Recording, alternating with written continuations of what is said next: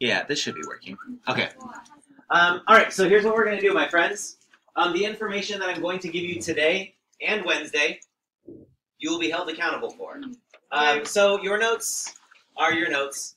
I'm not going to give you a study guide. I'm not going to do any of that because one of the things that I've heard from um, a lot of people who come back from college um, and talk to me, they're like, high school didn't prepare me for college because college teachers don't care about you. And they just give you information and it's your job to be responsible for it. And they don't check if you understand it or not and they don't tell you what's going to be on the test. They just say here's information know all of it. So this is one of those situations in which i'm like here's a little introduction to college. I'll, I'll probably still be nicer than some of your professors. Also by the way i've noticed that once you get into your like core co- classes except for the competitive ones like if you're doing pre-med um, or what's the like engineering and these types of things. If you go down that road, I don't think it lets up at all. Um, but like if you go any of the humanities routes, that type of stuff, typically like your third and your fourth year is when you actually start to know the people on the faculty and like you have your friends and stuff and it becomes more of a supportive network. But those first two years are baptism by fire. So um, what we're going to be doing is we are going to be talking about the Enneagram. I hope they can hear because otherwise this isn't going to work. Um, we're going to talk about the Enneagram, and what I'm going to do is I'm going to walk you through why um, why the Enneagram works and what it's all about. Um, and I think that's that. Um, I don't think we'll get through all of it today. What time is it? We've got about an hour. Your mama clock. Not fun. Got an hour. No, that's the other slides. This is a PowerPoint slide. I'm recording this to then post it to the YouTube later. All right.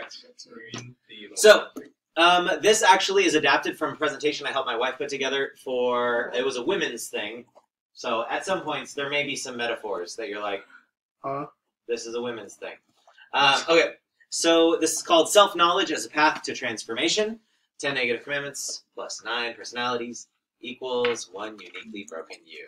Uh, sounds like a downer. Now, before we get into um, the enneagram, before we like start talking about old um, why. Um, before we start talking about the what of the Enneagram, it's probably important that we talk about why we should even care about self discovery, self knowledge, personality types, ego fixations, all of that kind of stuff. Um, because now, so I don't, I don't think Gen Z struggles with this much, but I feel like the Boomer version of the church does struggle with. Well, self awareness. Who cares? It should just be about like reading the Bible and following God which I think that's um, those are very important priorities. However, I think if you don't have self awareness, you're going to miss something. Um, this is John Calvin, someone that a lot of Christian folks might know about. Calvin. Um, John Calvin says this: "Without knowledge of self, there is no knowledge of God. Without knowledge of self, there's no knowledge of God." In other words, if you if you don't understand who you are, then it's going to be really hard to know God. If you don't understand who you are, then it's going to be really hard to relate with the divine. Um, a bit more on the mystical side of Christianity, Thomas à Kempis says this A humble self knowledge is a surer way to God than a search after deep learning.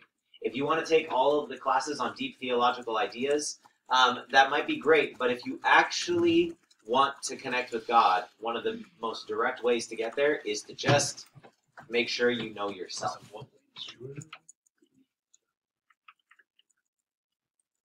Um, now, um, uh, the the thing with personality um, is like when we do personality assessments, I think that sometimes it's like, oh, personality is this good thing.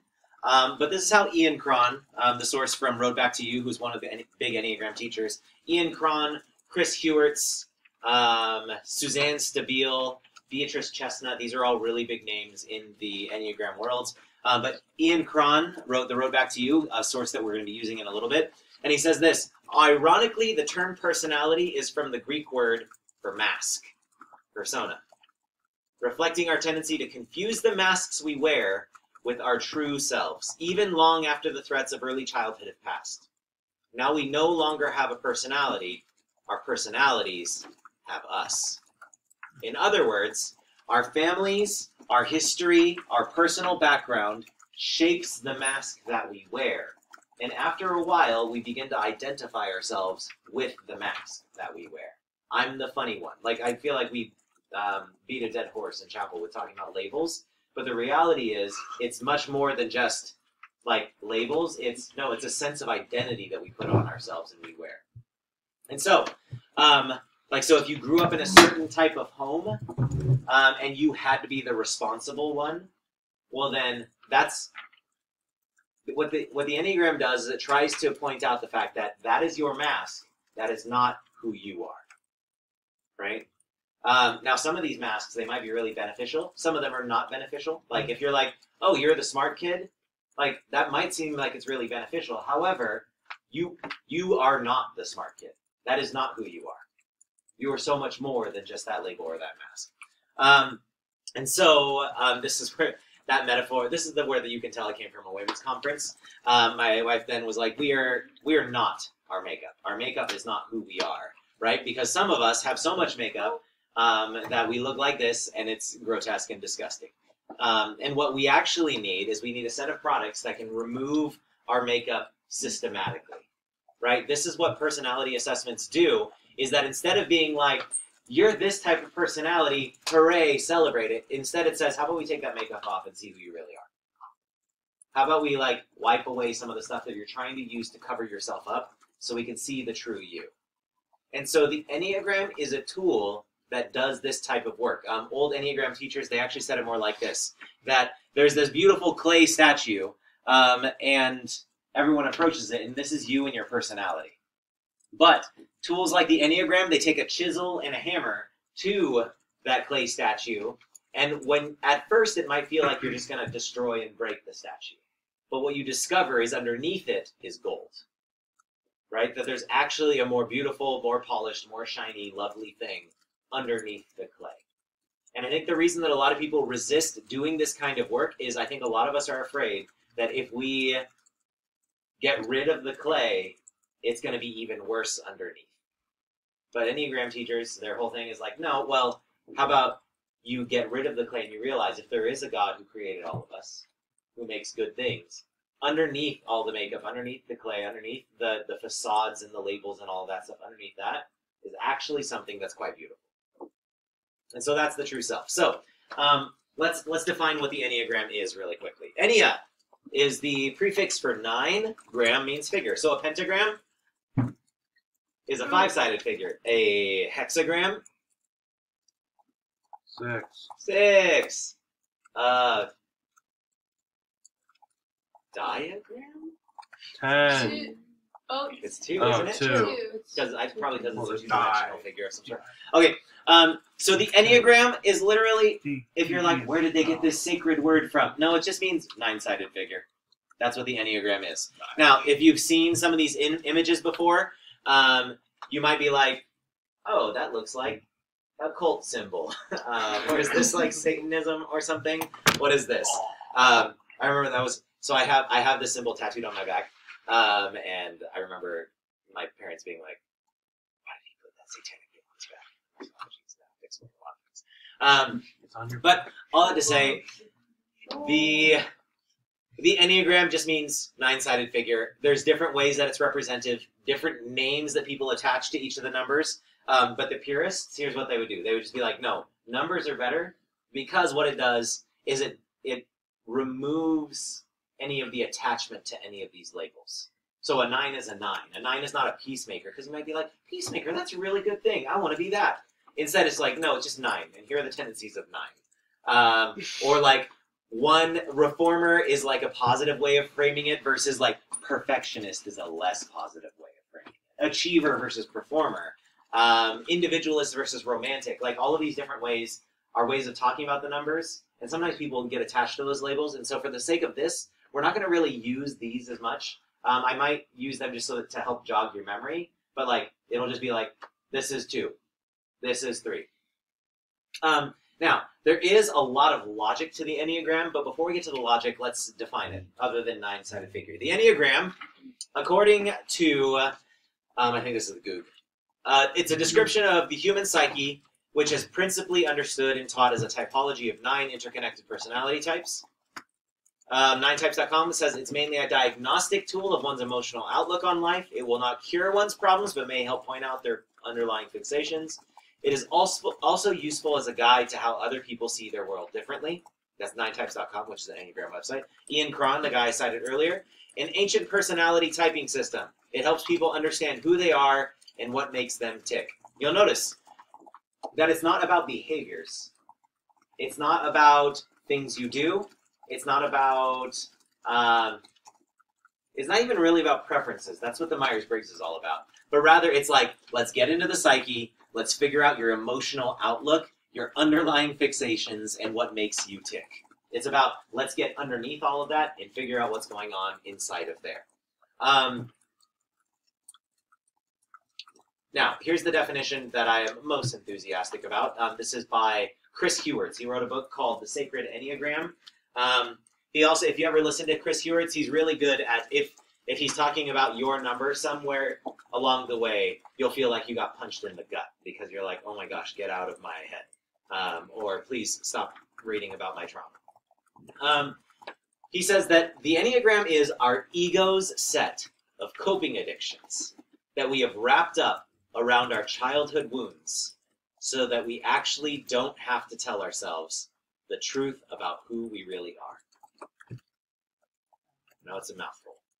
It's our ego's set of coping addictions that we have wrapped up around our childhood wounds so that we actually don't have to tell ourselves the truth about who we really are. Um, I don't know if you. So some of these things we should probably unpack. The ego is like your your sense of self, right? Prior to having a sense of self, you just got an id. I don't know if any of you have taken AP Psych, but it's just like it's about satisfaction of desires and needs. The ego is like a I am Chris or I am Sophia or like whoever it is that you think you are, and not only your sense of self, but like your self esteem. All of this stuff is wrapped up in your ego. Um, so it's your sense of self and its set of coping addictions. Coping meaning something bad, and addictions meaning it does it automatically and impulsively. That we wrap up around our childhood wounds. So things that we experience, God bless you, um, things that we experience early in life, um, bless you twice. Things that we experience early in life that have shaped the way that we are, um, we figure out ways of dealing with the world um, that are reflective of that wounding. So, like, uh, just some like basic examples. Like, let's say you grew up in an unsafe home um, where you weren't sure um, if you were going to be hurt or not by someone in the family. There's a couple ways that you could wrap up some childhood. You could wrap up some coping addictions around that. Some of you, um, some people became the super responsible type that always make sure everything's in line, so that the unsafe environment wasn't as unsafe, and so you kept everything in line. And so by being the responsible, um, controlled one, then you didn't have to worry about how dangerous your home was because you had like you were able to set up all these boundaries and walls to make your world more navigable. Or maybe since your world was so chaotic and so unsafe, um, instead you became the equally confrontational, angry one. You're like, well, they're going to push me, I'm going to push back, and you become this type of person that constantly pushes back because that was the way you tried to keep safe is by pushing back against the unsafe unsafeness. Both of them are like a childhood wounding. However, we have different coping addictions, which then later in life you have. This is why sometimes later in life you can have two people who grew up in the same home. One of them is like totally dysfunctional, can't keep a job down, and fights at bars every night. And then the other one is the super responsible kind, but they're both just wrapping up those personalities around those traumas from childhood. Now, you might be like, well, I didn't have childhood trauma. Um, I had a really good home. The reality is that each of us have some sort of, and when I say trauma, I'm not, I, I don't, well, I'm not going with like the clinical definition of trauma, but each of us experiences a sense of detachment or an experience of disconnection from our primary caregivers. Sometimes from the protective caregiver, um, usually like I feel like stereotypically that's assigned to the dad. There's protective caregiver and the nurturing caregiver. Um, and so usually there's a sense of detachment that occurs, which is why we feel like a sense of trauma. So sometimes it's explicit because they hit us, uh, or there was a death, or there was a divorce, or but sometimes it's like no, I just didn't feel like they listened, and so because of that, you felt like you detached, or maybe it was like okay, I I just didn't feel like they saw me, and so they you detach. Right? Like that is the childhood type of wounding we're talking about. All right. Now, before we even get into the system, it's one last thing I need to point out. Um, this is um, George Box. He's a British mathematician. He says this: all models are wrong, but but some are useful. God bless you. All models are wrong, but some are useful. The Enneagram is a model, and so um, there might be places where you're like, okay, it said this thing about sevens, and everything else about seven kind of fits, but this one thing doesn't fit. It's fine. It's not even perfect. It's not a perfect system. But I can tell you this: the Enneagram has been one of the most useful things to me. That's why I like tattooed it on my back. Um, is because it's been um, for me, it's helped me understand. When, back in the past, I used to just think that person's a jerk, and now I'm like, oh, that person has coped with their wounding in a certain way that makes it hard to get along with them, but I totally get it. Right? It, it can it can inform you to compassion for others. It also will expose your darkest fears um, and make you have to confront them. Um, so the Enneagram is very useful, but it's not perfect. So that's what I'm going to leave it at. It's useful. Um, I won't include this here, but like some people, I don't know, depending on the homes you come from, some people also have beef with the Enneagram because um, it's like attached with like mysticism and all of that. Um, those of you who took worldview, you probably talked about New Age. Sometimes people uh, connect the Enneagram with New Age. The reality is that it's really uncertain where the, the, the wisdom of the Enneagram came from. Um, Christian monks, like in the Catholic and the Eastern Orthodox traditions, try to claim it as their own. Um, also, like Sufi mystics within Islam try to claim it. Um, also, the New Age movement tries to claim it. Um, and so it's really, we don't really know where it came from. And so this is why I would say that, okay, the the angle of the enneagram that I'm going to be taking is more from like the Christian tradition angle of the enneagram. But if you dig deep enough, you realize oh, like all of these different traditions are kind of pointing about, out the same things about humanity. So, um, this is not to supplant the wisdom of God, but rather uh, it is something that I think is actually reflective of. All right, now. Um, there are three fundamental emotions. Um, the Enneagram um, actually deals with these three emotions um, and makes the claim that everybody has one of these three emotions playing to the bass track of your life. Now, when I say the bass track, um, when you listen to a song, oftentimes it's like the electric guitar shredding in the front, or maybe like the the of the bass note. But I don't know if you've ever like been to a concert or something. If there's no bass guitar, when the bass starts playing, you're like, this is the thing that's holding the whole thing together, right? And so the bass line, the bass note of your life you might not feel like an angry person or a fearful person or a shameful person, but one of these three things is probably actually the thing humming the tune in the background that's holding the whole thing together. And so I'm going to go through each of these. What you'll notice is that each of these, um, you'll probably resonate with one of these more than the other, um, because we with anger, you can act it out, you can internalize it, you can control it, or you can ignore it. But either way, your fundamental fixation is anger. Or with fear, you act it out, internalize it, control, or ignore it. Right? Each of these things, you respond in different ways to it. And so you'll notice that I'm going to go through nine different explanations, three for each of these, because each of these three is connected to a different um, a different number and then an emotional center. So let's go through anger. um, with these, I, I kind of want you as as you go along, if you're taking notes, um, if you're writing down, if you're the type of note taker that takes down everything, I would be like, okay, cool. Um, you can keep doing that, but make some sort of highlight star. The ones that you're like, this resonates with my experience. Um, so externalize, deny, or control or repress. So here's the first one. Do you externalize your anger? Raising your voice, moving forcefully or physically, acting out your anger when you feel it builds. On this type of person, anger runs anger is like the thing that drives their life and it's easy for them to like just jump right into a fight not even a fist fight but just like even verbal fights it's a thing that like drives them to be like oh yeah like there's just something in them that wants to be confrontation um, or do you deny anger do you try your best to stay completely away from this dark feeling by being out of touch with your preferences or opinions and always focusing on idealizations of reality are you even a little afraid of your feelings of anger. You're like, no, no, no, everything's cool. I'm totally chill. Everything's always awesome. No one's ever mad. But if you realize it, like the thing that's under the surface is that you're deeply afraid of the fact that what might happen if you erupt. What happens if you snap? Right? So you keep it deeply repressed. Or do you control or repress your anger? Do you feel that you must be perfectionistly that you must perfectionistically stay in control of your feelings, your impulses, and yourself in general? Are you frustrated? The world around you doesn't just try harder, right? Instead of taking um, the anger out and being like, "We're gonna fight," or ignoring the anger, like what anger? Instead, you're like, "Okay, I'm just I'm like a frustrated person that feels like I need to get everything right, right?" And like you get you get bugged when other people don't follow the rules and do things right, but you get even more devastated and bugged when you don't do something right, right? And there's this like simmering of anger that happens there. So those are the three ways we process anger. Next, shame.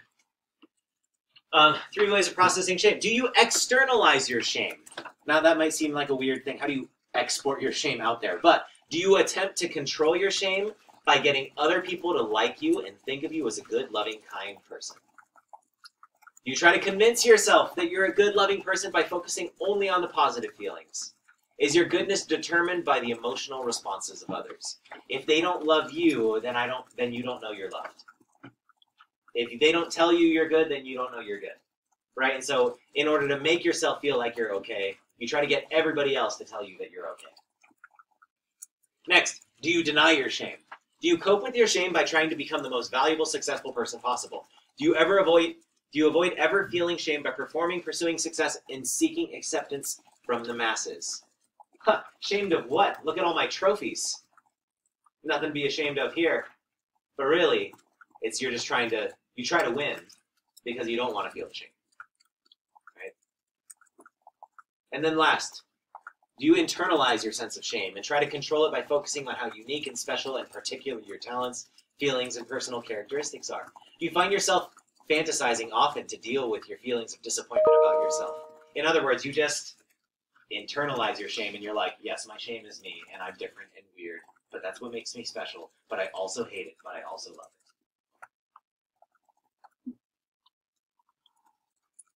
I wish I wasn't so different and I could be like everybody else. But if I was like everybody else, how lame and dumb that would be.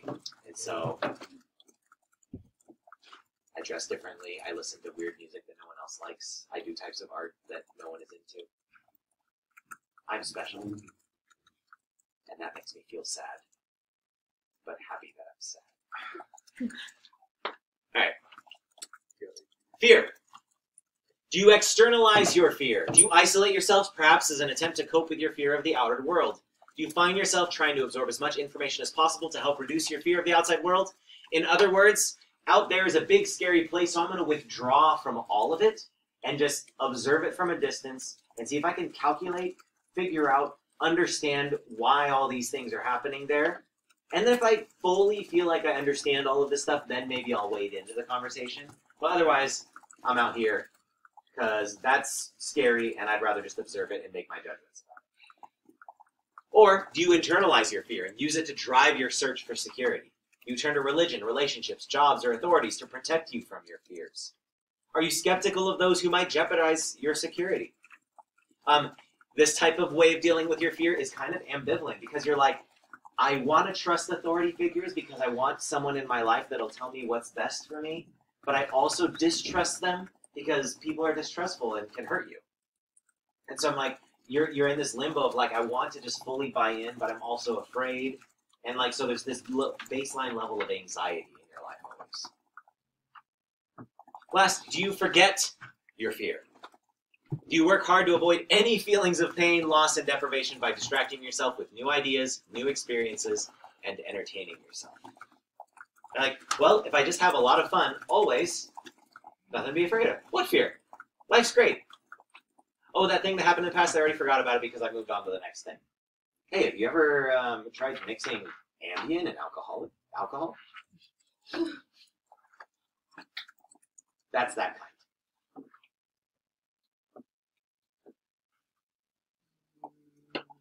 And so I want you to take note um, of the ones that resonate most with you. Um, where we at? What was that? Here's what I want you to do.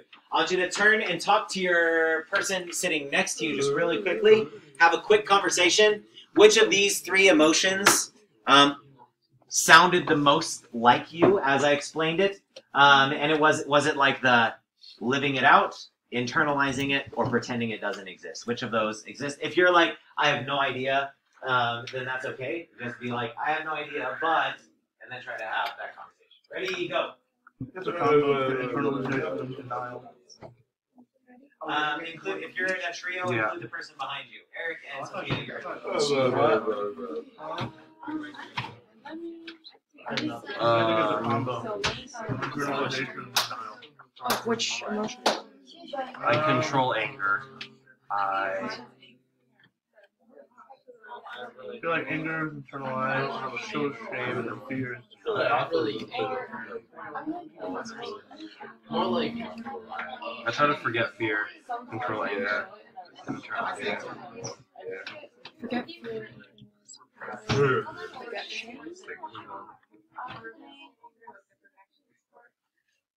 You? Um, externalize shame and internalize fear. I don't know how much of the anger thing I relate to, but if I just So we want probably the control one. Really? say you said bye. You didn't say atomic. You just said let me know bye. Oh. Be wise. No, Wait, no, I think I'm. Huh? I think you are there more feelings? That's There are more feelings. Oh, okay. Yeah, but these are the three fundamental feelings. Yeah, there is no happy or sadness. Oh, that's rough. Or no, sorry, joy. Sorry. All right. Here's what we're gonna do. Um, before I get into each of the enneagram types, um, I I need to clarify something. Friends, this is red. Okay. um, and so you might be like, cool, yeah, that's red, and I can identify that as red. But this is also red. This is red, and this is red, and this is red, and these Oh, so red. these are also red. All of these are red. And so you might be like, yeah, I'm red, but I'm not red. You know what I mean?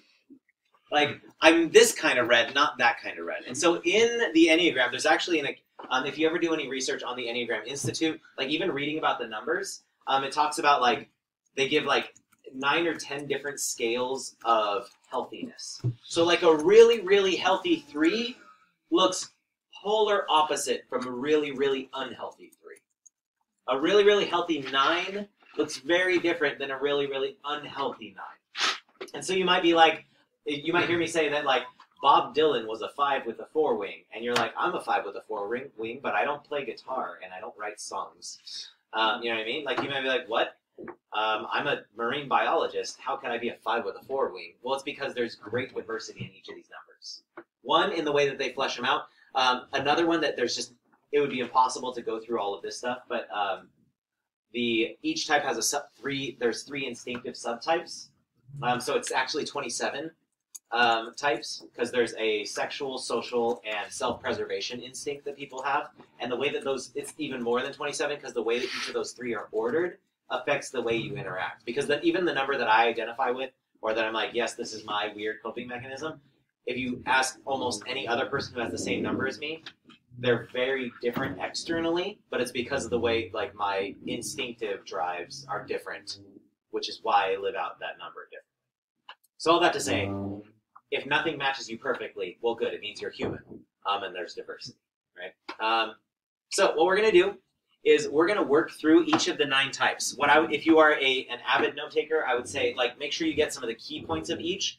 But with each of these, what I'm gonna do is I'm gonna read through. Uh, I'm gonna read through some, um, like some explanations of what it's like to be that number. And as you go through that number, I want you to make like little, if you're the writing kind, make little check marks of each of the statements that align with you. Um, Because if you think about it, this is why when I'm like, if you took the Enneagram quiz, it might not be all that accurate. Because what I'm going to do is I'm going to read you some statements, and that's essentially the same. Is like, which of these do I identify with? What quizzes and these types of questionnaires do is that helps you know what you're not, for sure, right? Um, but then if there's a few that you're like, I resonated a lot with these three, um, then it's best to then be like, okay, let's look at the fundamental drives. Let's do some self-reflective work and see which of these actually represents what I think the most. So I'll walk you through the summary of each of these, and then I'll read um, some things from Ian Morgan Cron's book, The Road Back to You. I think he co-authored it with Suzanne Stabile, but I think they had a falling out, so here we are. Um, but I think Ian was the, the main author of or like the, the guy whose name was big on the book. Um, so we're going to start with the eight. The reason we're starting with eight, by the way, um, is if you look at this diagram, um, you'll notice that there's something called the action center, the feeling center, and the thinking center. Action, um, this is the these are the anger, shame, fear. And so instead of starting at one and then coming all the way back to the same center, we're going to start at eight and work our way through this center, through this center, and through this center. So we'll start at eight and end at seven. Um, eight. The Enneagram eight sometimes is called the challenger.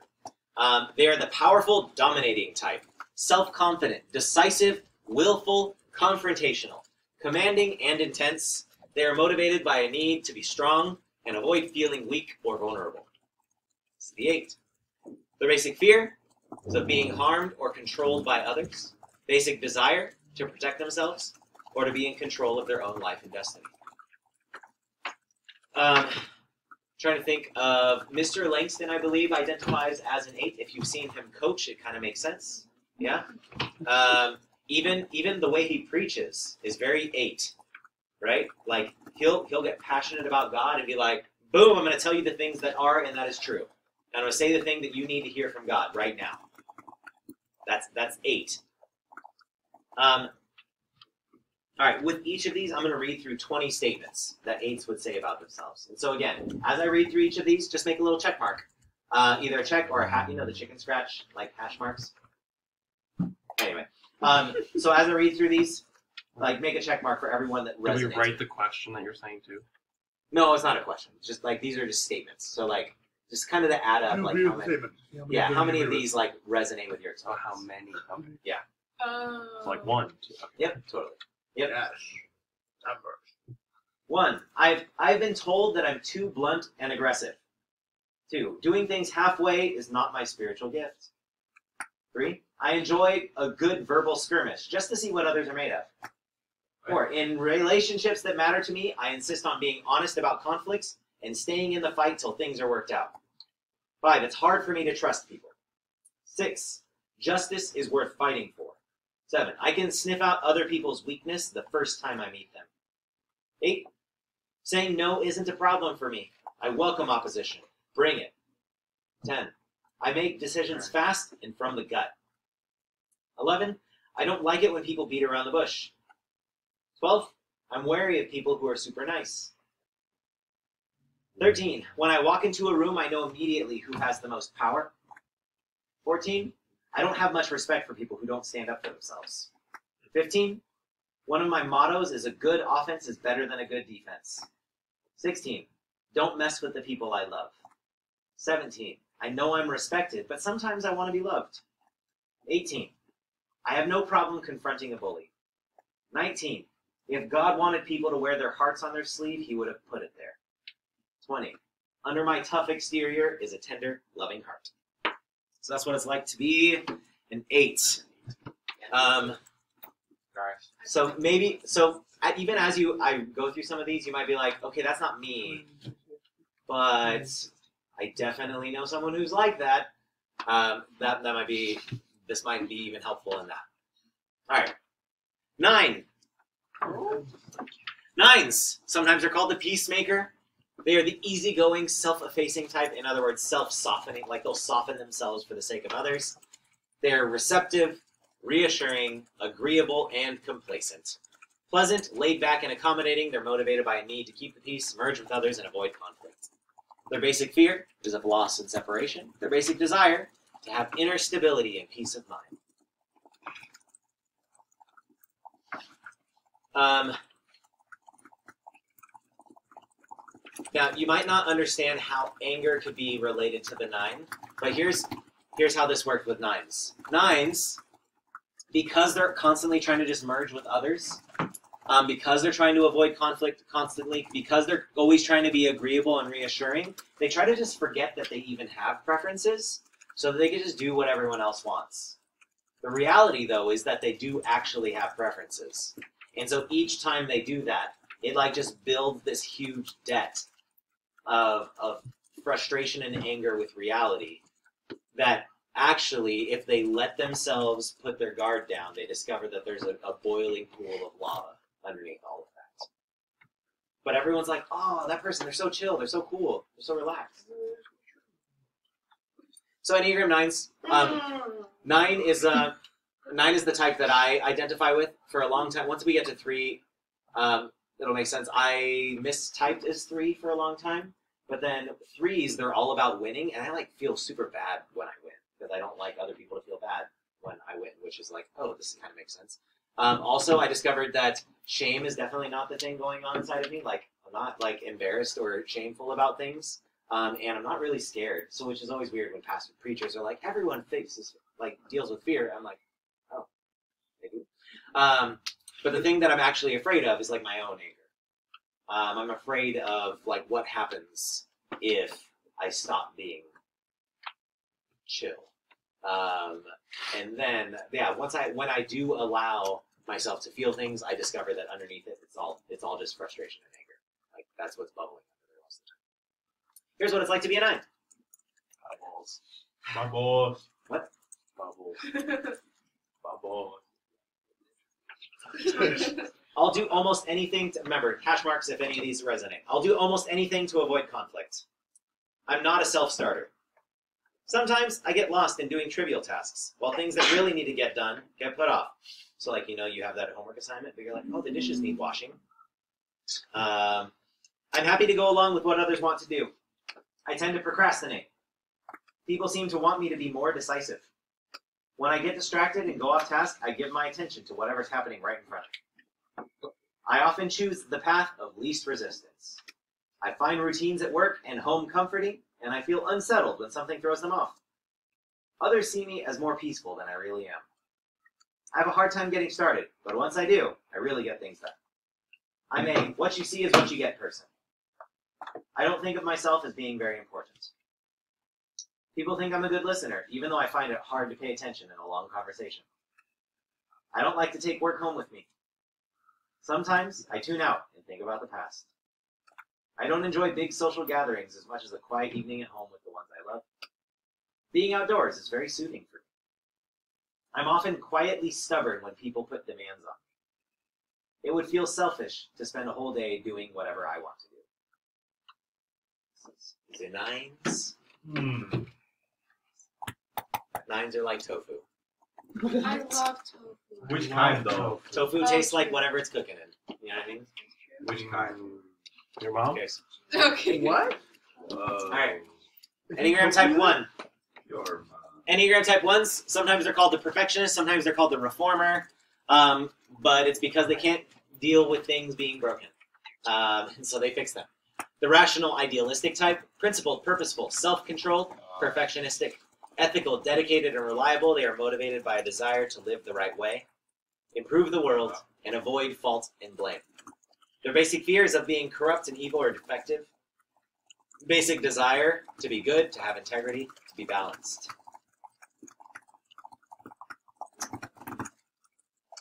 I Wonder if we have any ones on staff. Mounday was a one. The other Mounday, Mrs. Mounday was a one. Um, Mrs. Sinner, who no longer is here, which is ironic. I was gonna say. Um, the one. I don't know if she's a one. Uh, I think she identifies as a seven. Uh, but anyway. Oh, here. By the way, here's another way. If you're like unsure of which of these um, you are, um, or which of these is your coping mechanism, sometimes um, phrasing the basic fear as an insult um, is, is one of the best ways. So if you're an eight, um, if someone told you you're a pushover and you're powerless, like if that's the thing that makes you be like, oh, shut up, Um, maybe eight. Oh. Um, nine, it's like, um, hey, you can't be close to anyone. No one wants to be with you. Um, that would be the ninth. Oh. Um, one, you're defective. You're broken. Something's wrong with you. Like those would be the words that are like, ouch. Yes. Lynch. Oh, interesting. I'll talk to her. Maybe. It's just- Psychoanalyze. they all sound like Psychoanalyze. emotional Psychoanalyze. Okay. Here's what it's like to be a Juan. Fun. Again, check marks if it resonates. Oh, that's right. People have told me I can be overly critical and judgmental. I beat myself up when I make mistakes. I don't feel comfortable when I try to relax. There's too much to be done. I don't like it when people ignore or break the rules, like when the person in the fast lane at the grocery store has more items than allowed. Details are important to me. I often find that I'm comparing myself to others. If I say I'll do it, I'll do it. It's hard. Please stop. Um, it's hard for me to let go of resentment. I think it is my responsibility to leave the world better than I found it. I have a lot of self discipline. I try to be careful and thoughtful about how I spend money. It seems to me that things are either right or wrong. I spend a lot of time thinking about how I could be a better person. Forgiveness is hard for me. I notice immediately when things are wrong or out of place. I worry a lot. I'm really disappointed when other people don't do their part. I like routine and don't readily embrace change. I do my best when working on a project, and I wish others would do the same so I wouldn't have to redo their work. I often feel like I try harder than others do, um, than others do, than others to do things correctly. I feel I feel like I try harder than others to do things correctly. That's what it's like to be a one. All right, this, that's the end of the gut triad or the anger triad. We're moving into the shame triad. Enneagram type 2. Sometimes they're called the helper. They are the caring, interpersonal type, generous, demonstrative, people pleasing, and possessive. Warm, caring, and giving, they are motivated by a need to be loved and needed and avoid acknowledging their own needs. Their basic fear of being unwanted, unworthy of being loved. The basic desire to feel loved. So to a two, probably the biggest, um, the biggest insult to them would be like, no one wants you. Emotional. No one loves you. No one wants you. I know. I love you, So probably not a two. Um, so the other thing with um, so my wife is a two. Um, My wife. My wife. Um, she's a two. And here's the thing about twos is that oftentimes they are the people that like are quickest to make you feel like you are loved, and they are the people that make you feel accepted. They are the ones who like you're like, why am I telling you my life story? I just met you. Those are twos, which is a beautiful thing. I also find, listen, I also find that Christian females mistype as two a lot. Um, and it's because Christianity, I think, tries to impose that this is what a Christian woman is supposed to look like. Um, but oftentimes, here's why the underlying thing is more important than the symptom. Because you could be a really inviting, welcoming, loving person. However, why? Twos, the reason they do this is because they're like, if I am nice and kind and loving to everybody else, then maybe I could get the same love that I really deeply desire. Like, I, I can't confront the fact that I actually need this love. I can't say that out loud because that's too embarrassing to say that I'm needy. But I'm going to be nice to everybody and hopefully someone just pays me back. Hopefully someone just loves me back. Right? So it's out of a sense, like, not to like throw twos under the bus, but they're nice because they want to be loved, not because they're nice. Um, they're nice because they want to be like accepted, and for someone without being told, just to reflect back the love that they wish um, they could have. Anyway, all right. Here's what it's like to be a two. When it comes to taking care of others, I don't know how or when to say no. I'm a great listener, and I remember the stories that make up people's lives. I am anxious to overcome misunderstandings in a relationship. I feel drawn to influential or powerful people. People think I'm psychic because I usually know what other people need or want. Even people I don't know well share deep stuff about their lives with me. It seems like people who love me should already know what I need. I need to be acknowledged and appreciated for my contributions. I'm more comfortable giving than receiving. I like my home to feel like a safe and welcoming place for family and others. I care a great deal about what people think of me. I want other people to think I love everyone, even though I don't. I like it when the people who love me do something unexpected for me. Lots of people ask me for help, and it makes me feel valuable. When people ask me what I need, I have no idea how to answer. When I'm tired, I often feel like people take me for granted. People say my emotions can feel over the top. I feel angry and conflicted when my needs conflict with others. Sometimes it's hard for me to watch movies because I find it almost unbearable to see people suffer. I worry a lot about being forgiven when I make mistakes. This is the two. Well, can you read the first three again? The first three were When it comes to taking care of others, I don't know how or when to say no. I'm a great listener and I remember the stories that make up people's lives. I am anxious to overcome misunderstandings in a relationship. Hmm. Enneagram type 3. These are called the achiever or the performer. Success oriented, pragmatic types. Pragmatic seems like such a good thing, but you'll see why it's that. This looks like me. Adaptable, excelling, driven, and image conscious. Success oriented, image conscious, and wired for productivity. They're motivated by a need to be, or at least appear to be, successful and to avoid failure. Basic fear of being worthless. Basic desire to feel valuable and worthwhile. This is why they collect trophies.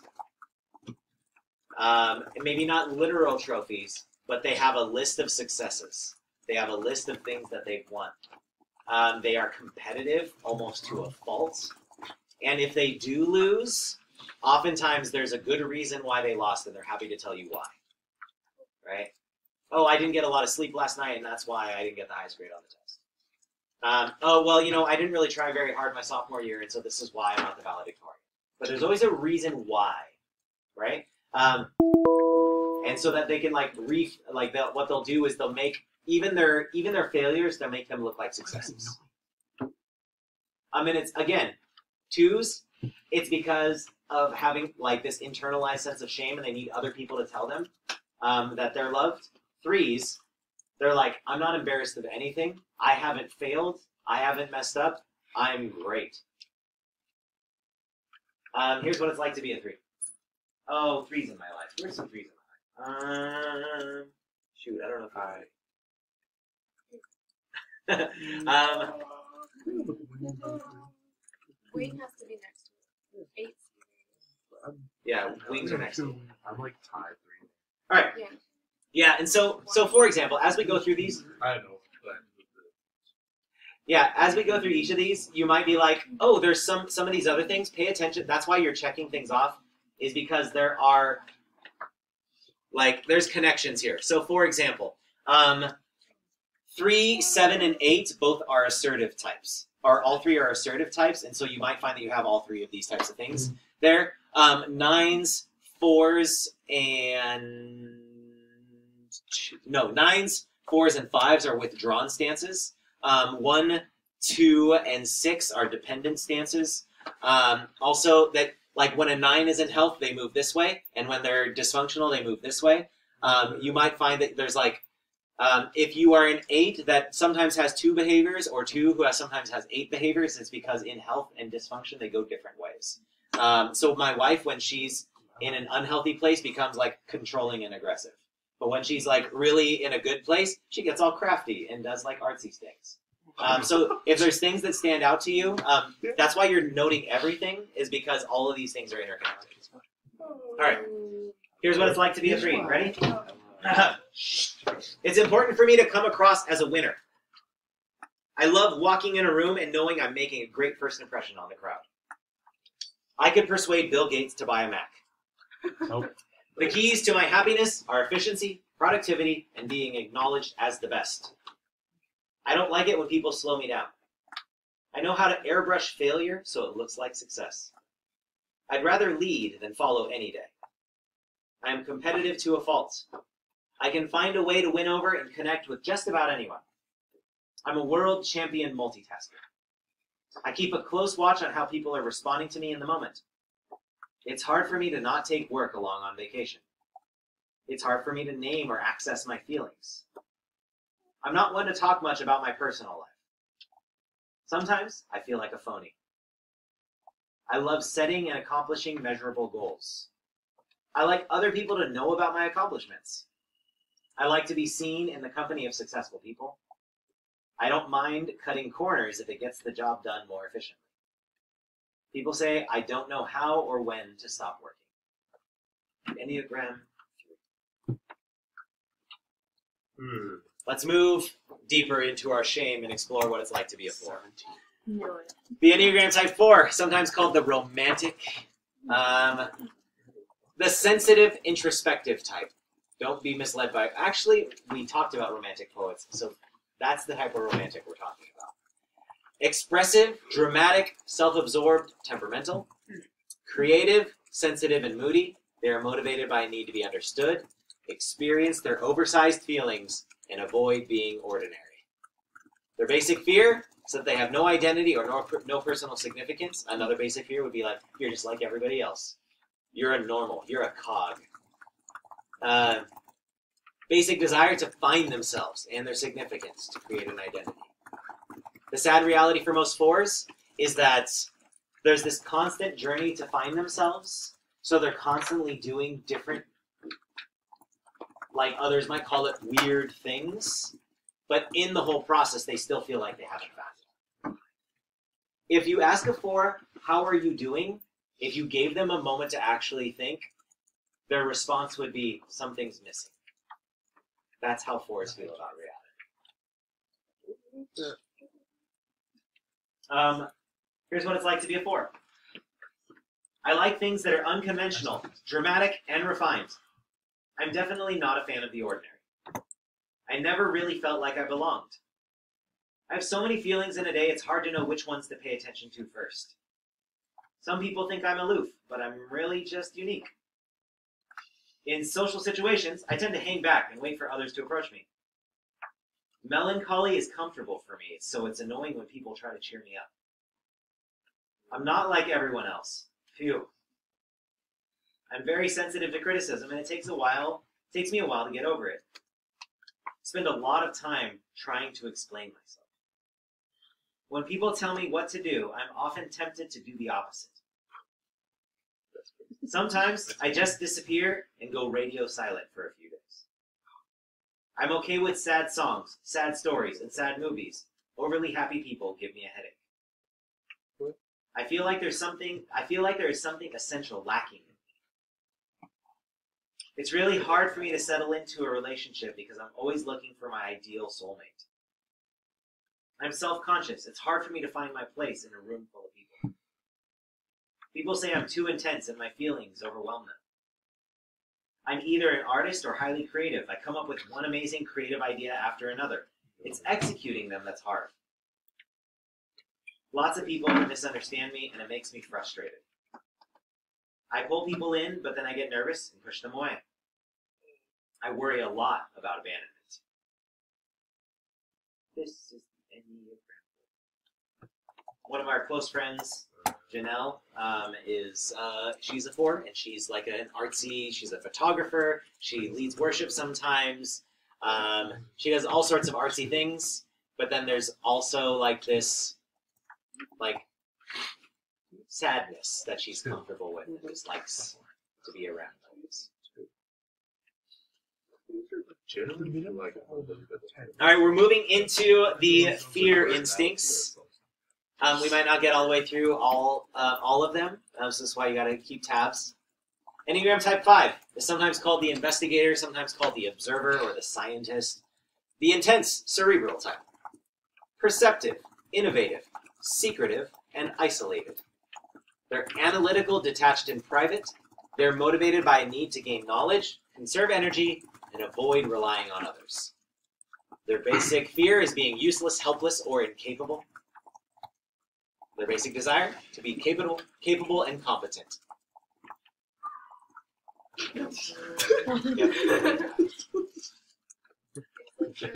I were helpless. Um, so yeah, think about it. Like this one, your the insult would be like you're you're incapable, you're incompetent, I know, man. right? And because think about it, for a so for a five, this is their way of staying safe. They find their area of competency, they execute on that, but then they withdraw in all other places. Right? They're the person that a group of friends is having a conversation and they're completely silent until you bring up the thing that they know they have expertise in, and then they'll talk all day all, all day long. Right? But go go back to talking about normal everyday stuff. They're like they'll they're they sink back into the shadows. Right? My friend Robert, who married Janelle, is a five, so it's ironic because the fives are the most withdrawn, secretive, don't express emotions. Um, and then the four is the everything is an emotion.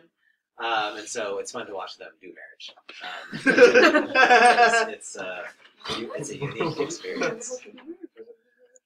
All right, so here's what it's like to be a five. Don't do much. I can take care of myself, and I think others could do the same. I don't always say things out loud, but in my head, I'm pretty sarcastic and cynical. I often feel awkward around other people. I'm okay if people ask me a few specific questions about myself, but I don't like it when people want too much information. I need time alone. If I want people to know how I feel, I will tell them. I generally wish they wouldn't ask. I think thoughts are more reliable than feelings. I need a couple of days to process an experience or know how I feel about something. People are wasteful. I hold on to what I have. Often, I find that I would rather observe than participate. I can take care of. Oh, sorry. Um, I trust myself. That means I think about things for a while and then I make my own decisions. I can't understand why people get together just to hang out. I'm a listener. I have to be very careful with my time and energy. I get tired when I have to be with people for too long. I often felt invisible as a child. Sometimes as an adult, I choose to be invisible. Sometimes I think I should. What? Were, were those two combined? Uh, yes. So I often felt invisible as a child. So sometimes as an adult, I choose to be invisible. Sometimes I think I should be more generous. It's hard for me. In groups, being uninformed makes me very uncomfortable. I don't like big social gatherings. I'd rather be with a few people. Material possessions don't make me happy. This is the five. And here's the six. This uh, some say that the six is the um, most common type, which if you're a four, that probably makes you be like, please don't be this one, please don't be this one, please don't be this one. uh, the the sixes though, they're the ones that make sure we don't jump off cliffs. Um, they're called the loyalist, the committed, security-oriented type, engaging, responsible, anxious, and suspicious. Committed, practical, and witty. They're worst-case scenario thinkers. Um, who are motivated by fear and the need for security. It kind of seems like they're a stick in the mud, but actually sixes sometimes are the funniest people because they're so aware of the things that are of, like fear, like scary and can go wrong. Also, because they need a sense of security, they also tend to build a group of people around them by being funny. Um, and they're like, cool, that we're all laughing about some of the same stuff. Yes, sir. Six really connected to two. Yeah, they're both dependent stances. Yep. Twos, though, it's out of a need to be loved, but sixes, their basic fear of being without support and guidance. Their basic desire to have security and support. So, so for a six, they're like, if I don't have a group of people around me, I won't be taken care of. For twos, if I if I'm not nice to everybody, then I'm un, then I'm unlovable. Yes, Is there a reason we started with eight and not one? yes, I Yeah. explained it earlier. Because eight starts Because we're starting at the the at the instinctive Oh, centers, okay. Anger. And then we're gonna end with seven. Yeah. All right. Um, lots of I know I know lots of sixes, um, and I'm sure you do too. Um, here we go. Oh, there's also a six counter. Each of these has a counter type, um, which means that they kind of display this differently. And so you can be a six and just be like the I just want to follow the authority and have people around me who um, love and care about me, who have this good, safe community. And then there's other sixes who are like I just trust every authority figure who wants to control me because they might want to hurt me, right? Um, and so, but it's out of the same sense of like fear and anxiety. Okay, here's six. I'm always imagining and planning for the worst. I often don't trust people who are in authority. People say I am loyal, understanding, funny, and compassionate. Most of my friends don't have as much anxiety as I do. I act quickly in a crisis, but when things settle down, I fall apart. When my partner and I are doing really well in our relationship, I find myself wondering what will happen to spoil it. Being sure I've made the right decision is almost impossible. I'm aware that fear has dictated many of my choices in life. I don't like to find myself in unpredictable situations. I find it hard to stop thinking about the things I'm worried about. I'm generally not comfortable with extremes. I usually have so much to do, it's hard for me to finish tasks. I'm most comfortable when I'm around people who are pretty much like me. People tell me I can be overly pessimistic. I am slow to start, and once I do get started, I find myself continuing to think about what could go wrong. I don't trust people who give me too many compliments. It helps me to have things in some kind of order. I like to be told I'm good at my job, but I get very nervous when my boss wants to add to my responsibilities. I have to know people for a long time before I can really trust them. I am skeptical of things that are new and unknown. The six. And just while we have the six to reference, the sevens, I'll just do the quick intro to these and then we'll we'll refresh on this next time we're together. Sevens, the busy, variety seeking type, spontaneous, versatile, acquisitive, and scattered. Fun, spontaneous, and adventurous. They are motivated by a need to be happy, to plan stimulating experiences, and to avoid pain.